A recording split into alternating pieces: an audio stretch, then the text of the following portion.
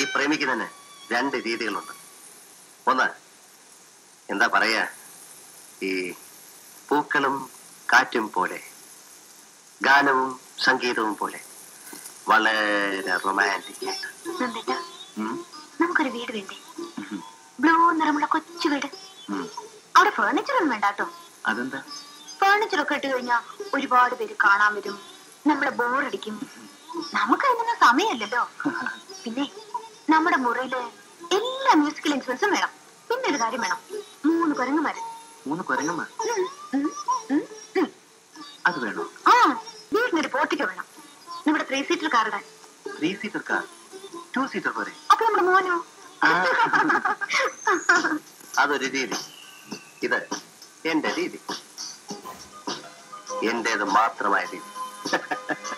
സകല തൊട്ടിത്തരങ്ങളുമായി പ്രേമിക്കുക. കാമുകന് ചാർമിനാർ സിഗരറ്റിന്റെ ഗന്ധമാണല്ലേ? ബാറിലിരുന്ന് കൊച്ചു വർത്താനം പറയുന്നതാണ് ഇഷ്ടം.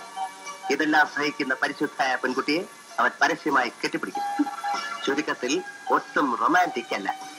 ഞാനൊരു സിനിമ ഡയലോഗ് പറഞ്ഞോട്ടെ.